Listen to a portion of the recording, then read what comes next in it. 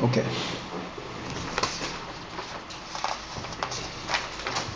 Let's get the scriptures on this, on this, on the uh, ship of Tarshish real quick, so I can get that, then we'll open this up for questions here.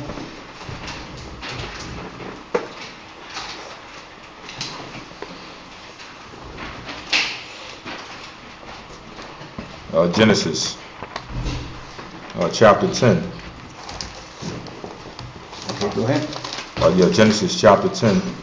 Verse 4. Go ahead. We're going into the ships of Tarshish. Why? We have some we have some people teaching out there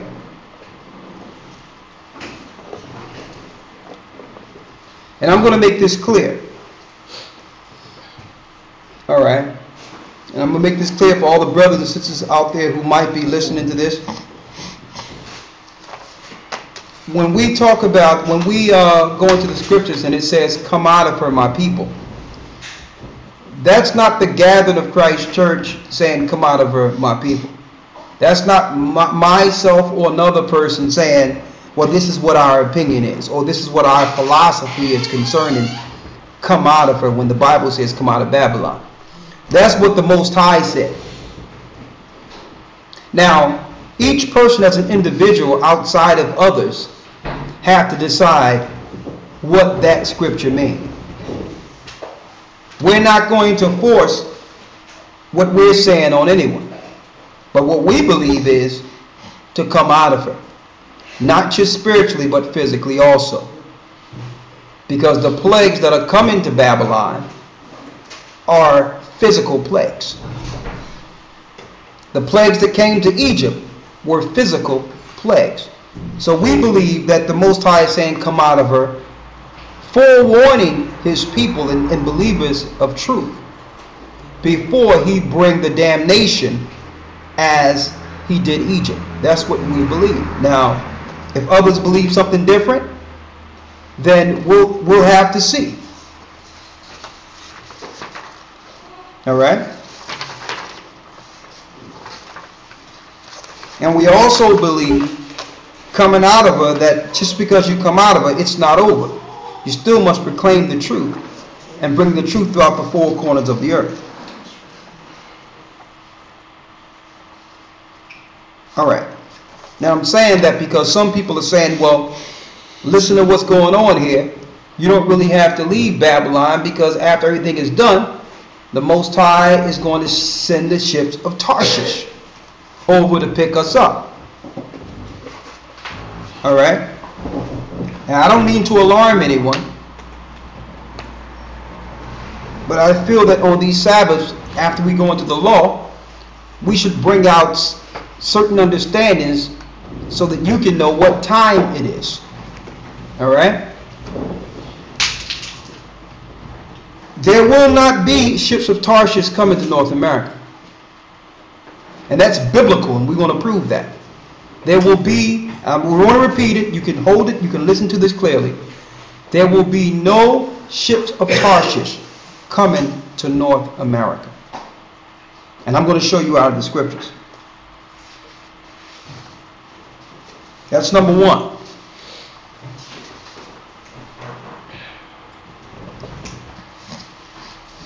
All right. The news, some of the news that we have, and it's definitely Bible prophecy. They didn't tell you all. Everyone is is caught up in the Tremaine. What's his name? Trayvon Martin. Trayvon Martin thing. Barack Obama like I say, almost every week he comes with something else. And Congress have okayed a bill now that will have Russia, Russian troops. We told y'all two years ago that there's Russian troops within the United States training, but they're not telling you. A law was just passed where the Russian troops will now work with Homeland Security and certain forces to combat homegrown, homegrown terrorism within the United States. Now, this is the bill that was just passed last week. While people are caught up into whatever they caught up into, why? Listen, Russia and China and other countries were part of the bailout.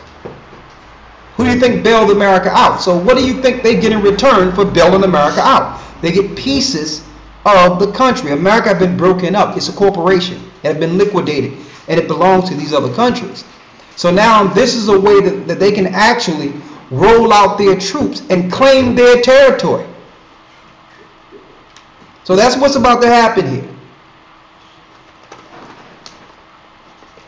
All right? And when this all go down, listen to me clearly. They're going to get people up in these cities. There's too many people for them to deal with. So the first thing they're going to do is they're going to cut all utilities, cut your water, no living water, no nothing, so it can be diseased up and destroyed all up in the cities after they do their false flag. Right after that, people automatically begin to turn on each other. So they're going to sit back and let that happen first as a pretext to come in and bring order. And that's when they will bring in your NATO and your foreign troops who have been there for years. There's a whole Chinese fleet in Florida right now. It's been there for over two years. You had the Russian troops in the Bay Area for over three years. So now, Barack Obama, he didn't sign the NDAA. He didn't also sign the bill that give Homeland Security hollow tip bullets. He have also signed the bills that now that America work in conjunction with foreign troops for homegrown terrorism. That means foreign troops on the books now have the right to kill American citizens. Okay? But that's not the biggest issue here. The biggest issue here is what they're going to do with these nuclear plants and what they're planning to do all under the country to break it up itself, knowing there's too many people to fight against. Free thinking people are a threat to the powers, and everyone is waking up, especially those in the United States. So that's a threat to this order they have. So some people out there teaching, and that's great that they're out there teaching about the Most High and the commandments and all that, but they're also teaching things, claiming that either UFOs going to pick them up, or either the ships of Tarshish is going to come get them and save them from the UN troops. And, and, and from the and from the nuclear plants they're going to let loose like Fukushima.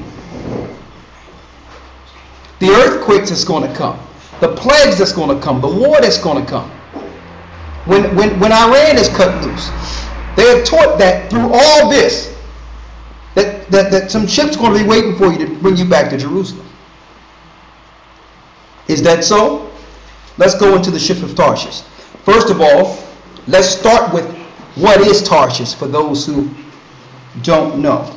Let's start at Genesis 10 and 4. Start with a few verses. Go ahead. Uh, Genesis chapter 10, verse 1.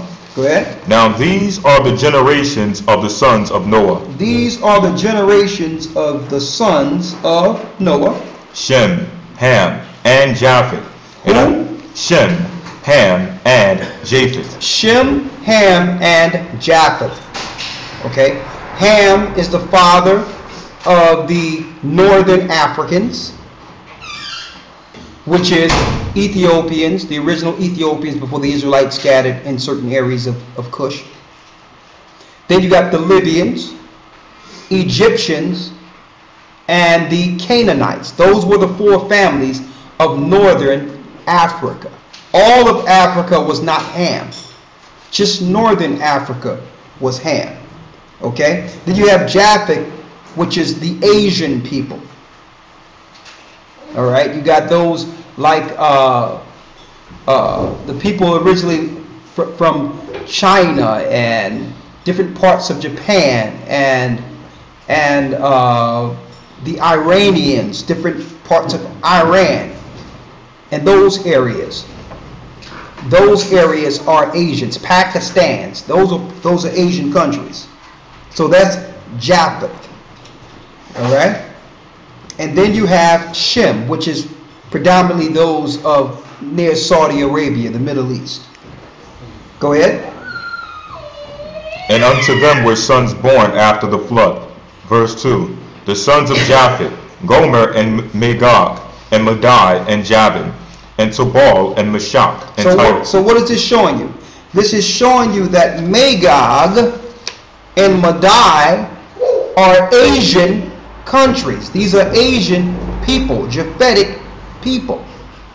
So when those who see Russia in prophecy it says Gog and Magog and want to relate it to the people who stole Russia, scriptures are not talking about the the the, uh, the people who took the land during the Idumean the Idumean Greek and Asian wars.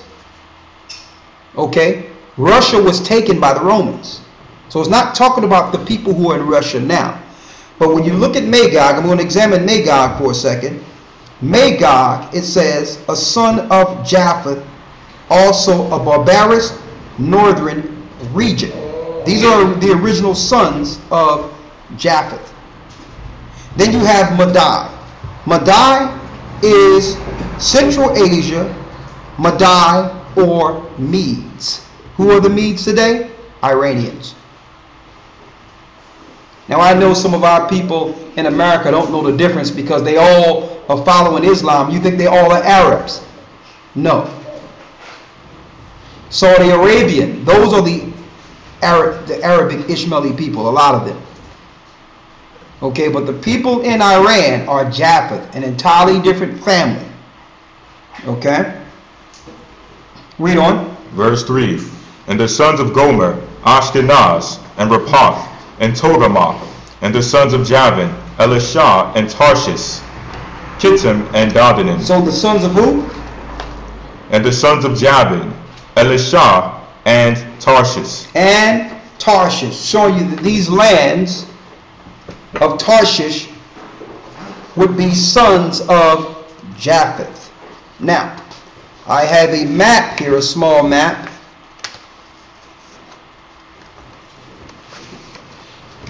Okay. Here, for those who who, who want to look at this, it's crystal clear. All right. See Tarshish? Tarshish is right here, right off the Mediterranean.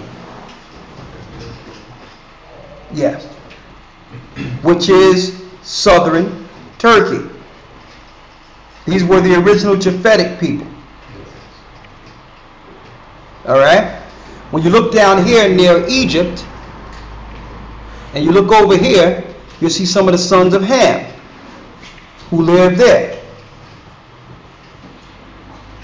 So Egypt is going down this area. You got Egypt here, then you got the tongues of the Red Sea down there. Egypt all along here, along the Mediterranean. All right. So you got Ham, Shem, and Japheth, which surrounded the Gentiles surrounded what? The Great Sea or the Mediterranean. And there's many isles on this side that you can't even see because it's a two-part map, but there's a lot of islands on this side, so-called Greek islands, which are also part of this map. Right? So when it talks about the ships of Tarshish, it's talking about ships that will be coming from around the Great Sea. They'll be ordered from the Great Sea, the ships of Tarshish, from the Mediterranean area. Okay? Let's go into it here. Let's go to Zechariah 13.